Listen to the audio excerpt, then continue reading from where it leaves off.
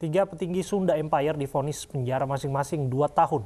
Ketiganya difonis karena menimbulkan konflik di masyarakat.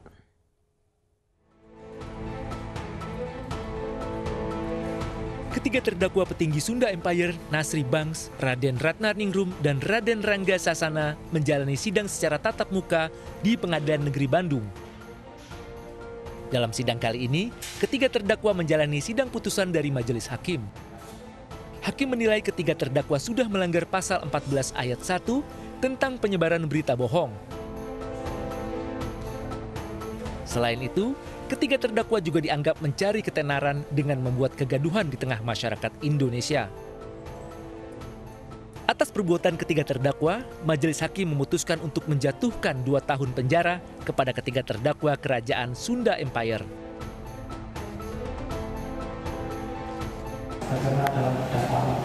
Pemeriksaan dua menjatuhkan pidana terhadap para terdakwa tersebut di atas dengan pidana penjara masing-masing selama dua tahun.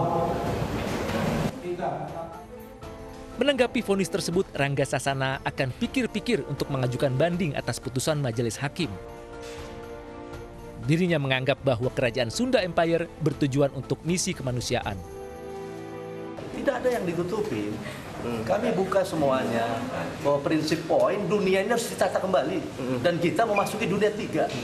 Itu aja poinnya. Berarti para Kalau tidak ada penataannya nggak siapa yang mau nata? Siapa yang peduli itu nuklir diledakkan?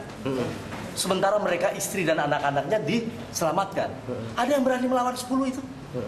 Siapa yang berani teriak bahwa hukum undang-undang juga harus ditinjau kembali? Harus kembali ke sana. Sebelumnya, tiga nama petinggi Sunda Empire mencuat pada 15 Januari 2020 lalu. Dengan mengklaim bisa menghentikan nuklir serta membawahi negara-negara di seluruh dunia. Dari Bandung, Jawa Barat, Ervan David, iNews melaporkan. Sebelumnya keberadaan Sunda Empire sempat menghebohkan publik.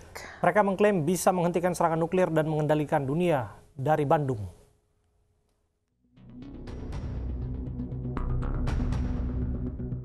Mengklaim dapat menghentikan serangan nuklir, Sunda Empire sempat menyita perhatian publik.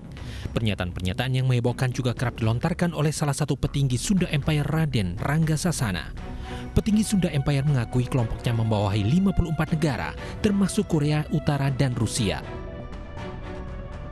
Justru keberadaan atas Sunda Empire, Empire adalah melahirkan tatanan bumi yang menyelamatkan atas keselamatan bumi dan umat keseluruhan. Satu contoh tadi yang saya bilang, yang bisa menghentikan atas nuklir tidak diledakkan adalah Sunda Empire. Bahkan kelompok yang mengakui memiliki ratusan anggota ini mengklaim pemerintah negara-negara di dunia akan berakhir pada 15 Agustus 2020. Keberadaan Sunda Empire sebagai organisasi juga telah dimentahkan oleh Badan Kesatuan Bangsa dan Politik atau Kesbangpol Kota Bandung, Jawa Barat. Organisasi masyarakat bernama Sunda Empire dinyatakan tidak terdaftar. Fakta-fakta mulai terkuak. Rangga Sasana yang mengaku sebagai petinggi Sunda Empire bukanlah warga Tanah Pasundan. Rangga diketahui bernama asli Edi Raharjo asal desa Grinting, Brebes, Jawa Tengah. Tim Liputan iNews melaporkan.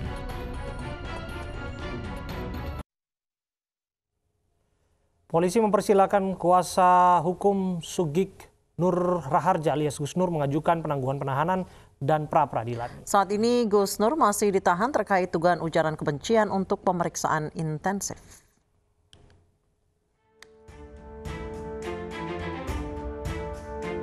Baris Krim Polri masih memeriksa tersangka pencemaran nama baik dan ujaran kebencian Sugi Nur Raharja alias Gus Nur. Gus Nur diduga menyebarkan ujaran kebencian terhadap Nahdlatul Ulama. Polisi mempersilahkan kuasa hukum Gus Nur untuk mengajukan pra peradilan jika tak setuju dengan penangkapan polisi. Begini, kalau tidak setuju terkait dengan apa yang dilakukan oleh kepolisian di pasal 77 KUHAP itu telah diatur di sana bahwasanya eh, ada ruang pra peradilan. Ya, kalau tidak setuju terkait dengan penangkapan silakan. Itu tersangkanya, keluarganya atau kuasanya bisa memperadilakan kepolisian. Selama ini kepolisian sudah melaksanakan uh, tugas secara profesional. Gus Nur ditahan selama 20 hari untuk pemeriksaan intensif sejak 25 Oktober 2020. Sejumlah saksi ahli juga telah dimintai keterangan oleh polisi. Tim kuasa hukum Gus Nur juga berencana mengajukan penangguhan penahanan karena Gus Nur adalah tulang punggung keluarga dan pengasuh pondok pesantren yang memiliki tanggung jawab atas para santri. Tim Liputan iNews melaporkan. Gus Nur ditangkap polisi karena dugaan menyebarkan ujaran kebencian dan menimbulkan permusuhan. Ini bukan pertama kalinya Gus Nur terlibat masalah hukum karena pernyataan kontroversial.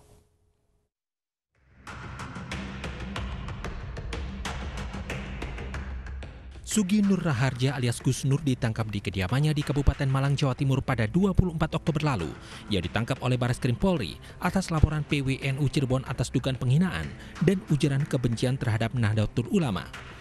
Gus Nur ditangkap karena diduga menyebarkan informasi yang menimbulkan kebencian dan permusuhan melalui kanal YouTube karena membuat pernyataan tentang Nahdlatul Ulama ketika diwawancarai pakar hukum tata negara Refli Harun. Ini bukan kali pertama Gus Nur terlibat masalah hukum karena telah tiga kali dilaporkan polisi. Bahkan pada Oktober 2019 lalu, Gus Nur pernah difonis satu setengah tahun oleh Majelis Hakim Pengadilan Negeri Surabaya, Jawa Timur karena terbukti bersalah menebarkan informasi yang menghina generasi muda NU. Fonis yang dijatuhkan saat itu lebih ringan dari tuntutan jaksa penuntut umum, dua tahun penjara. Kasus itu bermula dari unggahan video di media sosial pada 20 Mei 2018. Dalam video Gus Nur dianggap menghina generasi muda NU, lalu ia dilaporkan Forum Pembela Kader Muda NU ke polisi. Tim Liputan iNews melaporkan. Pemirsa jelang libur panjang akhir pekan, kenaikan jumlah penumpang di sejumlah moda transportasi umum mulai terlihat meski belum signifikan. Di tengah pandemi COVID-19, transportasi umum harus bersiap menerapkan protokol kesehatan secara ketat, salah satunya dengan mengurangi kapasitas penumpang.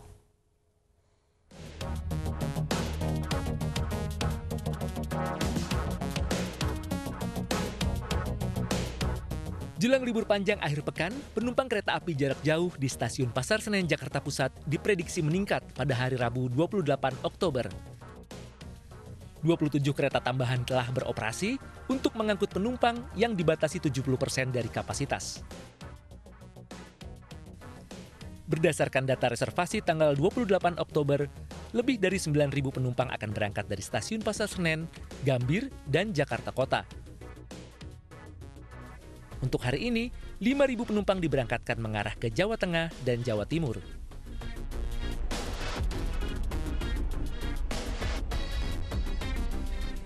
Di Terminal Kampung Rambutan, Jakarta Timur, lonjakan penumpang belum terlihat hingga selasa siang.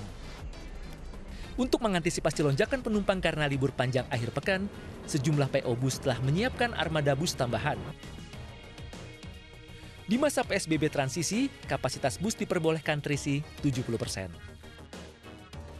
Berbeda di masa PSBB tahap awal, kapasitas penumpang hanya diperbolehkan 50 persen.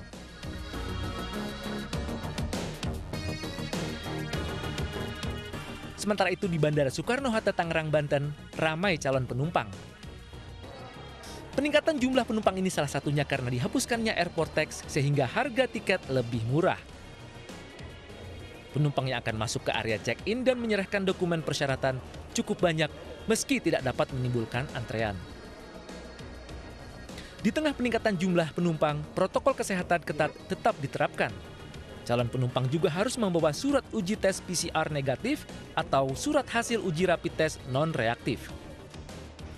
Tim Liputan iNews melaporkan.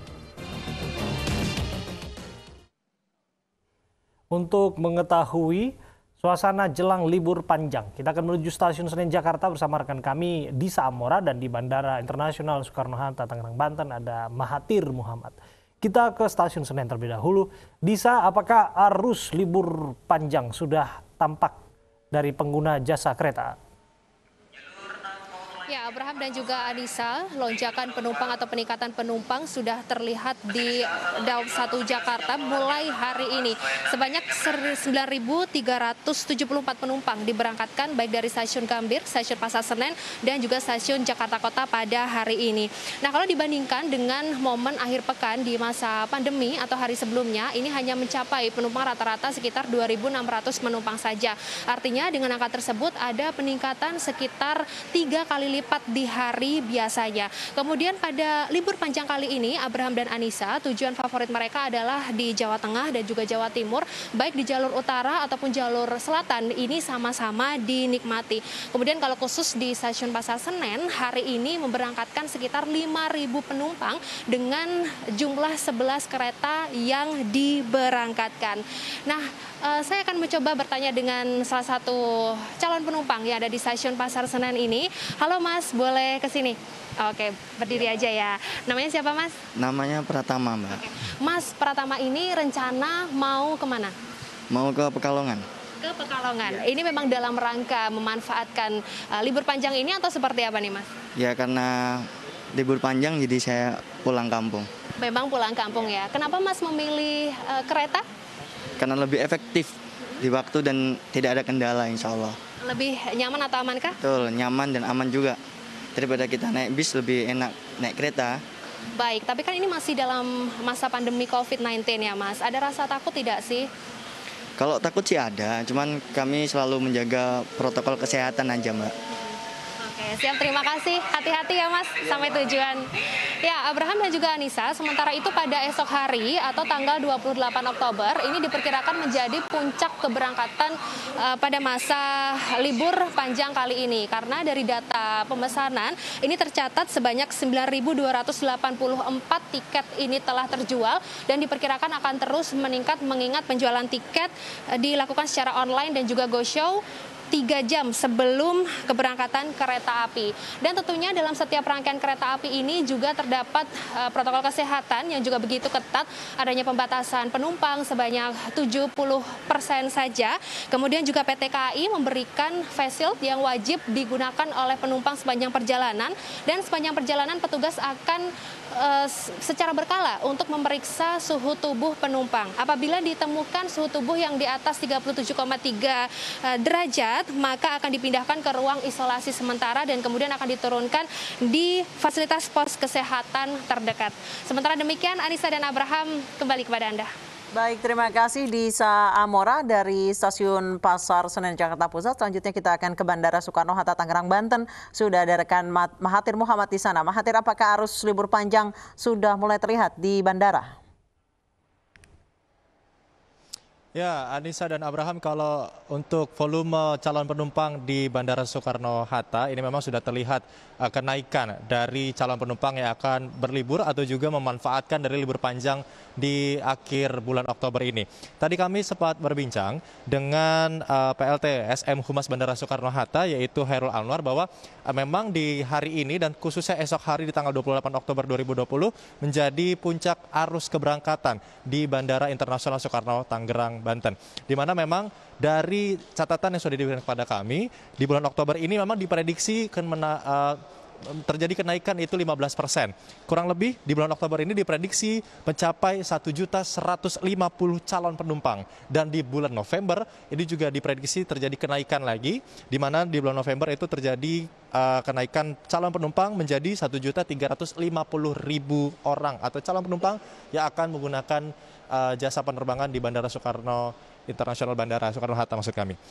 Dan juga untuk uh, situasi dan suasana di ruang tunggu khususnya di keberangkatan Terminal 2, gate 4 tempat kami berada, uh, berada saat ini, memang berbeda dengan kondisi di rekan kami di Saamora, khususnya di Stasiun Senen, di mana memang kalau di Bandara Soekarno-Hatta tidak terjadi penumpukan atau antrian yang begitu panjang, Anissa dan juga Abraham, di mana memang uh, dari bangku-bangku yang memang disediakan untuk menunggu di ruang tunggunya, ini memang masih terlihat banyak yang kosong, juga untuk di antrian validasi rapid test juga tidak begitu terjadi antrean yang panjang. Namun memang kalau untuk kenaikan di akhir bulan Oktober ini memang dikarenakan ada dua hal. Yang pertama adalah pastinya dikarenakan uh, dari airport tax yang ditiadakan.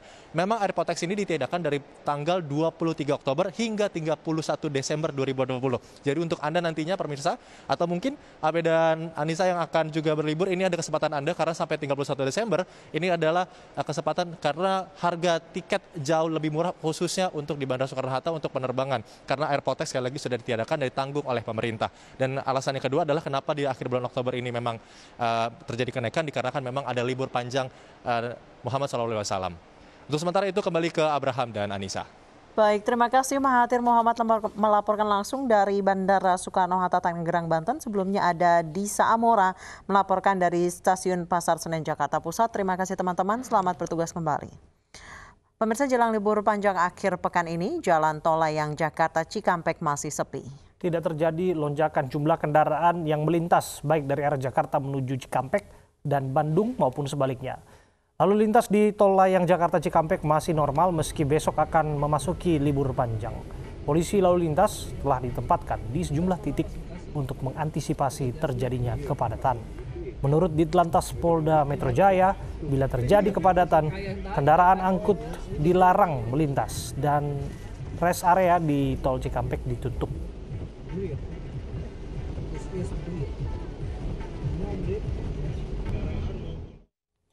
Ribuan buruh di Sidoarjo demonstrasi protes Undang-Undang Cipta Kerja dan menuntut kenaikan upah tahun 2021. Informasi selengkapnya akan kami hadirkan usai jeda berikut.